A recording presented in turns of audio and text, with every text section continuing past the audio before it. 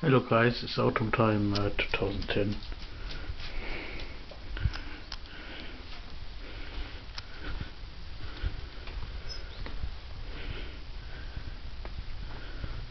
Our garden, not so nice uh, weather.